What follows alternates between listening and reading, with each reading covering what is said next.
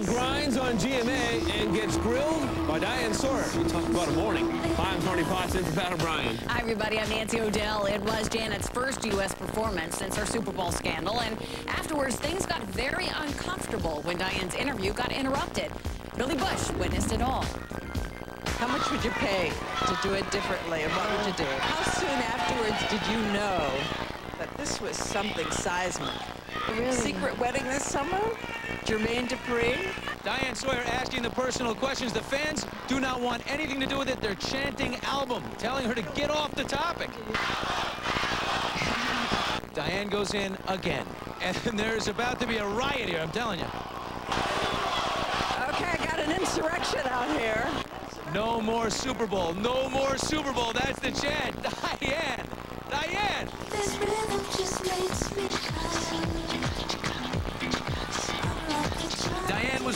Under fire, grilling Janet about the Super Bowl, riling up the thousands of fans that packed Battery Park to hear her sing, not talk. I think Diane Sawyer went a little too far? Yeah, we're sick of hearing about it already. Enough is enough. The crowd was disgusted. She knew that. She just and she followed up. tried, you know, to look at Janet and pretend everything was okay. But Janet was disgusted again. It's an accident. Let it go. Are you proud of Diana, or would you pull back a little bit when the crowd kept, you know? No, I think, you, first of all, you ha you're playing to a number of audiences. I think the audience at home uh, wants the answers to those questions, and, and the crowd here wants music. In fact, the crowd got so rowdy. Charlie, who was hanging backstage with Janet's beau Jermaine Dupri, repeated a question Diane already asked. Did, now, did you say you were getting married or not? She asked me if there was going to be a secret wedding. I told her I knew nothing of a secret wedding. When Diane asked the question, I could hear a little bit, and I heard that she, I heard the word wedding, and then I saw him lean forward.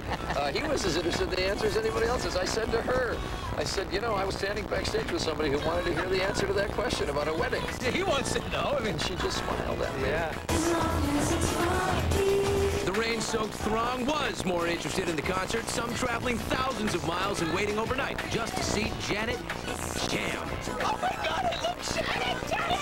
Hey, come on. I'm so excited to be here. Yes. This was for Janet? That's Janet Simple. That's Janet Simple. There's a guy who moons me and he says, for Janet, baby. Listen, there's a small problem this morning. It's not Janet Jackson it's for me, it's Tito Jackson. Is that all right? Oh Are you happy with your view? Mean, are you, are you, are you happy with what I mean, I would whip to be with you, but I don't know. We're gonna get. 10 o'clock. Hey, on, this guy's been here since 10 a.m. Come here he comes. That guy's been there since 10 o'clock. All right, more Janet on the way. Her first comments on brother Michael's sex scandal. What she said is coming up. Tony. Earlier, we brought you Janet's GMA performance and how she dodged Diane Sawyer when Diane asked Janet about brother Michael. But when I sat down with Janet, she shed insight on their relationship. How do you two specifically support each other through the tough times? And with Janet's Super Bowl scandal and Michael's molestation charges, safe to say times couldn't be much tougher. Oh, we call. We stay in touch. Often? Yeah, we talk. Every day? Not every day. We talk a lot. In fact, Janet experienced a veritable sibling and parental avalanche of support in response to the super fallout. All of my family called me. Gave me words of encouragement to keep my head up and to stay strong. Boy, it's a damn shame. And that may explain why Janet is sticking to her guns with Damita Jo. The album, because it is so sexy, and in light of Super Bowl events, were you worried at all about keeping the sexiness to it? I wasn't, but a lot of other people were. Wanna feel your sex explosion. Did you ever consider changing it? Toning it down? No, because I have to be who I am. But Janet also wanted to be Lena Horne in the biopic about the music legend, that is. However, that role was yet another casualty of her Super Bowl performance. Was it Lena that did not want you to do that? Which... Mm-hmm. Yes. From, excuse me, from what I do know, yes. I'm still a fan of hers. I love her. I respect her. I wish she would sit back and think about it for a minute, but it's her decision. And it's her life story that's being portrayed, and she has the right to choose. So, I have to respect that.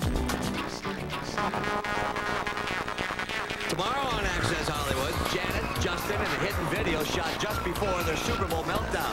Was the wardrobe malfunction planned? They're going to believe what they want to believe it. Only we have the tape that'll finally expose the truth. tomorrow on Access Hollywood.